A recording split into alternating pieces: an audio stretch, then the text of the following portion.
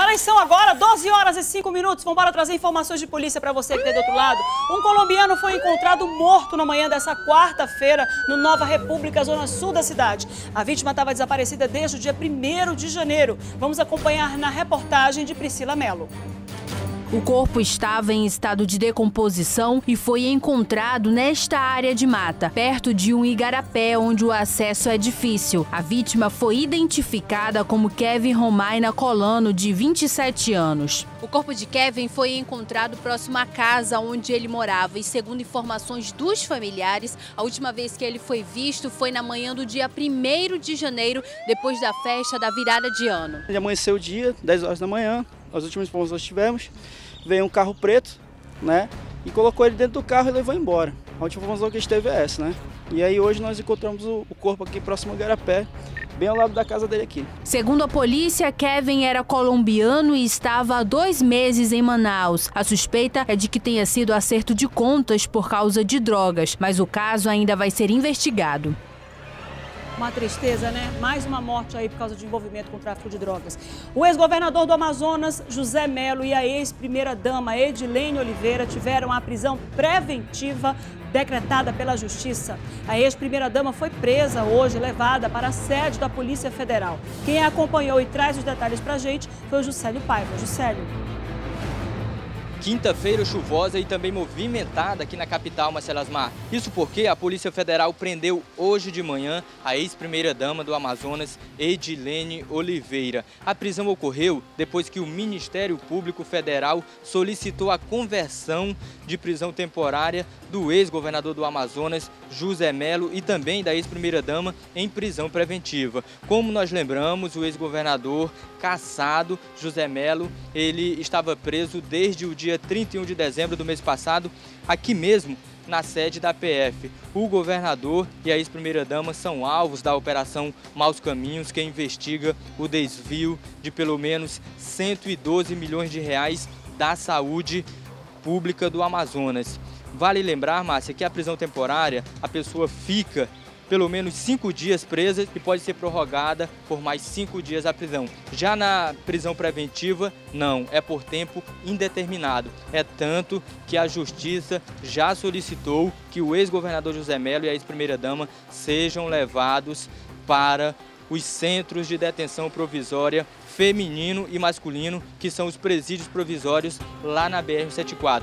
Segundo o MPF, o pedido foi feito porque resta evidência que muitas diligências necessitam serem realizadas e que há elementos claros de interferência indevida dos investigados na investigação criminal, na intimidação de testemunhas, na ocultação de bens, na potencial continuidade da prática do crime permanente de lavagem de dinheiro. E hoje de manhã nós conversamos com o advogado de defesa do ex-governador José Melo e também da ex-primeira-dama, que falou sobre as prisões aqui na sede da Superintendência da PF.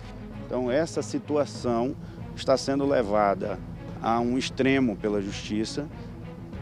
Questões simples, como ir buscar material para a própria empresa, está sendo conduzida como uma tentativa de obstrução da justiça pelo simples fato de ter se ido a um depósito cujas chaves foram entregues por eles próprios à justiça, à polícia.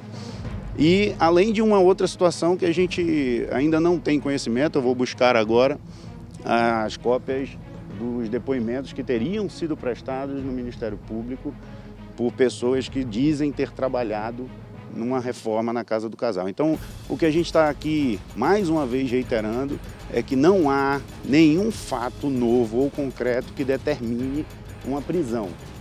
E o advogado também falou que caso o ex-governador José Melo ele seja realmente encaminhado a um presídio aqui da capital, ele corre sério risco de morte porque ele é alvo de facções criminosas. Como os senhores viram, no dia 31 houve tentativa de fuga exatamente no centro de detenção provisória masculina. Então a situação não é confortável. O ex-governador José Melo é alvo principal das quadrilhas porque foi o maior é, é, o maior número de apreensões de drogas e combate às quadrilhas de crime organizado de facções é, de tráfico que já existiu no Estado, foi no, no curto período em que ele esteve à frente do mandato.